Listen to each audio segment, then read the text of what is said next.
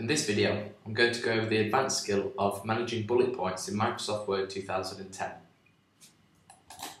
So I'm inside Microsoft Word 2010 and I've written a piece of text that says this is a list of tasks to complete. Now what I can do if I want to create some sort of tick sheet or a to-do list for students is I can actually use the bullets tool which is in the home tab here at the top. What I can do is if I insert the bullet using the bullets button you can see that the standard bullet point is a black circle. So if I have task 1 here, if I press enter, it automatically inserts another bullet point on the line below. So I can write task 2, task 3, etc.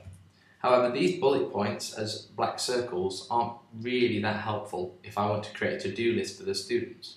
So what I can do is if I select these bullets and go back to the bullets uh, tool in the menu and click on the arrow next to it, I can go down to define new bullet.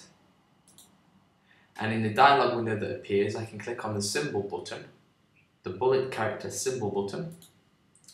And as long as I choose the font symbol inside here so again on this drop down list it's basically all of the fonts that appear within Microsoft Word.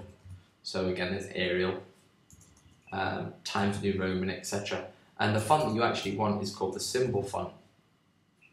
So once I've found the symbol font if you scroll down towards the bottom of the uh, symbol font options, you can see these little boxes.